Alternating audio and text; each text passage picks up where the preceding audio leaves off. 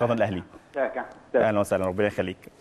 خلينا في البداية كده نعرف رأي حضرتك إيه في آه، حفل ختام بطولة كأس الأمم الأفريقية 2019 آه، الحفل طبعا جميل جدا. في تكنولوجيا وفي إخراج جميل وفي بهجة وفي أغنية حلوة قوي فيها رسالة. بتاعت دنيا سمير غانم آخر حاجة في الحفلة يعني. مم.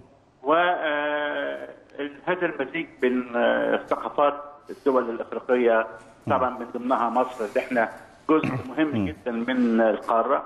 الحفله وقتها محدد من الكاف عشان المباراة النهائية. آه الحمد لله أنا شايف إن الختام والافتتاح قبليه مم. كان حاجة الحقيقة مميزة جدا في تاريخ. الاحتفالات الرياضية المصرية من سنة يمكن 60 يعني. بالظبط. ما عمرنا عملنا حاجة بالجمال ده ولا في أي دولة عملت حاجة بهذا الجمال. ده مجهود ناس اشتغلت آه، وفي شباب كتير واشتغلوا بقى فترة طويلة. آه، فترة طويلة نسبيا يعني. طبعا الفترة كلها كانت قصيرة أربع خمس شهور. دي حاجة قصيرة جدا عشان بالظبط، دي حقيقة. فيها 24 منتخب. إيه الرسالة اللي قدرت تواجهها مصر من خلال تنظيم كأس الأمم الأفريقية السنة دي؟ إحنا نقدر طبعا يعني. ده رسالة مختصرة جدا. نقدر آه، نعمل كل حاجة. نقدر نبني بلدنا نقدر نعمل دورة.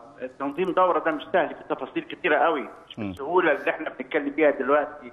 كلنا وإحنا قدام الميكروفونات والشاشات وحتى بالكتابة. في تفاصيل كتيرة الإقامة الإعاشة الانتقالات التأمين 24 فريق 24 ملعب تدريب استادات الدخول والخروج من الاستادات تنظيم ال- ال- ال- الجماهير آه، النقل والتكنولوجيا بتاعت النقل التصوير التلفزيوني كل الحاجات دي مهمة جدا وفيها تفاصيل لا تعد يعني ولا تحصى حاجة حاجات تفاصيل صغيرة كتيرة جدا. إحنا مش حاسين بالتفاصيل الصغيرة لأن إحنا بعيد عنها لكن طبعا أي واحد موجود في إدارة هذا المشروع المهم هيلاقي إن في تفاصيل طبعا هو عارف كويس قوي مم. مهمة جدا. يعني إحنا الحمد لله نجحنا. آه، وأنا ما بقولش نجحنا دي اصل في ناس فاهمة إحنا. لما نبقى سعداء بالنجاح نتكلم عليه إحنا بنقول أصل منتخبنا كان خرج فاحنا ماسكين حكاية النجاح بالظبط. مش حقيقي خالص. اطلاقا آه، روسيا روسيا اللي هي آه، يعني قوة عظمى في الكوكب.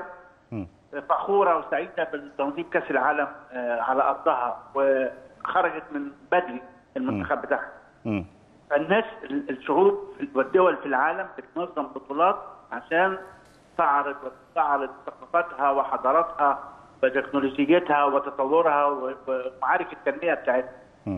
فاحنا جزء من من ده يعني يعني لو فعلا إحنا على فكرة إحنا كنا انتقدنا كتير. افتتاحات وتنظيم دورات واللي يرجع لل- للتاريخ القريب هيلاقي في انتقادات لبعض الاحتفالات لبعض الدورات لكن هذه الدوره آه، يعني اللي أنا شفته من أيام أعياد الشباب في الستينات ما, فيش حاجة اتعملت زيها ابدا في مصر. طب أستاذ حسن شايف نجاح مصر في تنظيم بطولة كأس الأمم الأفريقية هيكون نواة إن شاء الله لتنظيم بطولات أكبر في المرحلة الجاية؟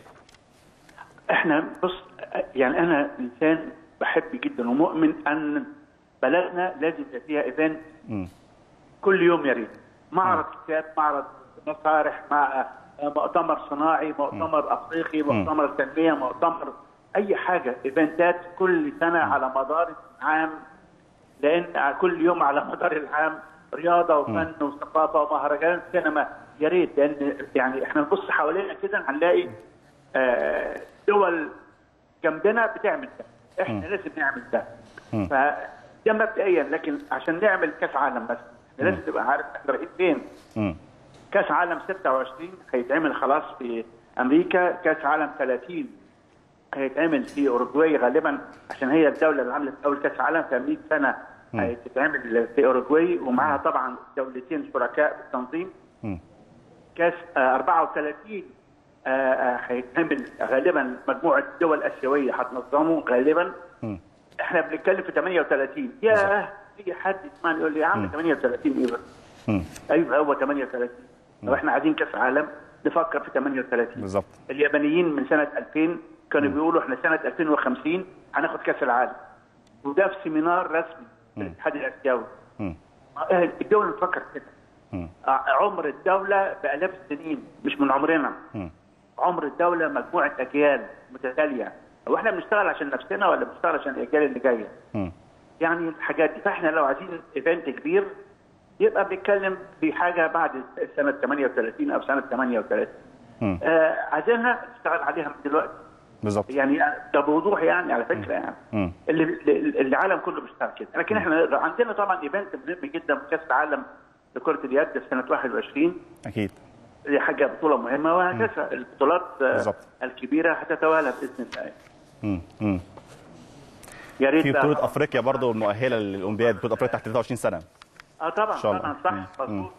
ويا ريت كمان كاس السوبر الأوروبي نحاول نجيبه مرة عندنا. يعني. طب خلينا نتكلم شوية في النواحي الفنية لبطولة أمم أفريقيا.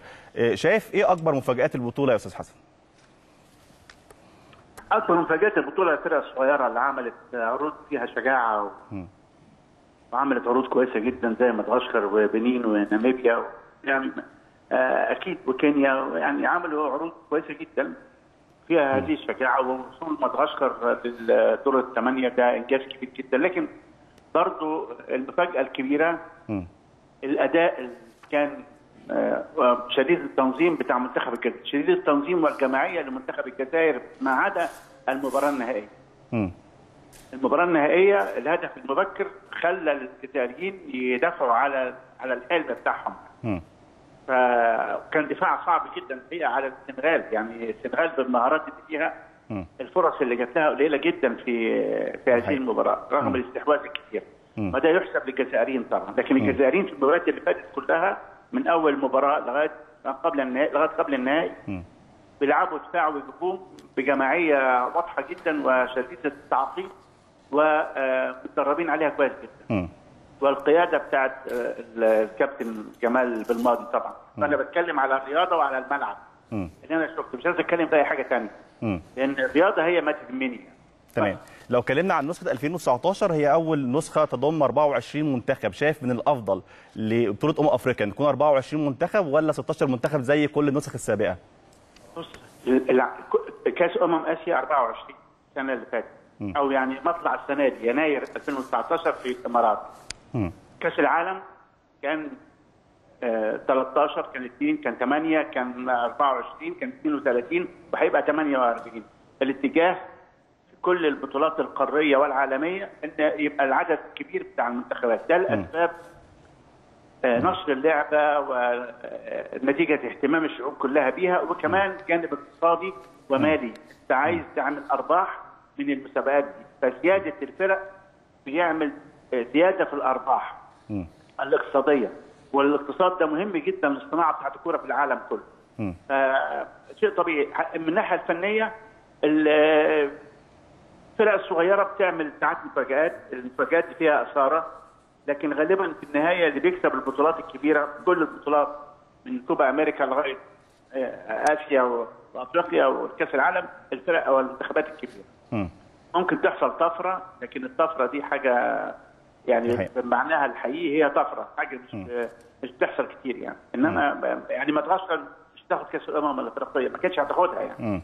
اخذها منتخب كان كبير أو لعب بأداء كبير يعني. مم. آه، آه، آه، وكان في منتخبات كبيرة طبعا ما هي نيجيريا والكاميرون وساحل العاج والسنغال وتونس منتخبات كبيره ومصر منتخب كبير مم. رغم ال- الخروج المبكر يعني. مم. هيفضل منتخب مصر منتخب كبير. على, على ذكر بقى منتخب مصر شايف إيه الدروس المستفادة اللي ممكن منتخب مصر يستفيد منها خلال هذه البطولة؟ بص اللي إحنا اخذنا دروس كتير قوي. يعني آه، مش عايز أكرر لك الدروس اللي إحنا اخذناها على مدى سنين لكن أهم درس أنا شايفه لازم نشوف إحنا خرجنا إيه. إحنا ليه السباقات السرعة والازدحام والجهد البدني بيقل في المباريات مع الأفارقة. آه وبالتالي هيبقى العالم إن إحنا شفنا ده في كأس العالم مم. إحنا ليه جهدنا البدني بيقل؟ آه في مشكلة هذا الجهد البدني والقوة في الالتحامات مش بقول العنف لا القوة في الالتحام. إحنا بنخسر السباقات دي في معظم المباريات دلوقتي على مستوى الأندية وعلى مستوى المنتخب. فلازم نفكر في إيه هي المشكلة دي ونعالجها إزاي. ده اولا لأن قبل ما يبقى في مشكلة اختيارات سيئة من أجاري وإعداد سيء وكل الحاجات اللي إحنا عارفينها واتكلمنا فيها اختيارات سيئة طبعا كانت واضحة جدا في مشكلة آه، آه، طبعا عندنا مشكلة الجهد البدني بالمناسبة الاختيارات السيئة عدان آه، قديورة كان سبب في الهجوم الشديد على جمال بالماضي قبل قبل البطولة اللي هو لاعب نوتنجهام فورست انه ما بيلعبش. في فريقه الإنجليزي. ده كان هو كان اختيار عشان آه، نبيل بن طالب لاعب شالكة الألماني الأساسي اللي بيلعب في المركز ده كان اصيب فهو جمال بن ماضي اختار عدنان قديوره مم. لكن عدنان قديوره لما لعب مع منتخب الجزائر كل الصحافه الجزائرية بصمت بالعشرة على اختيار آه، آه، جمال بن ماضي. أحيانا بيبقى في نقد من الصحافة عشان لعيبة ما بتلعبش في أنديتها وأحيانا النقد ده بيكون صحيح. لأن الناتج بتاع هذا اللاعب أو غيره ما بيكونش زي الناتج اللي قدمه عدنان قدير. فهنا آه، عايز أقول إن مشكلة الصحافة أو علاقتها بالمنتخبات مشكلة أزلية ودائمة ومستمرة في كل الدول. لكن الناتج إيه؟ آه للأسف في حالة منتخبنا ثبت أن كل وجهة نظر آه النقاد الرياضيين والمحللين آه فيما يتعلق باختيارات اجيل والإعداد للبطولة كان كان صائبا كان صحيحا. آه وهو كان بيدافع بوجهة نظر آه آه مش مقنعة الحقيقة يعني. دي حقيقة. عايز أتكلم عن جمال بن ماضي المدير الفني المنتخب الجزائري.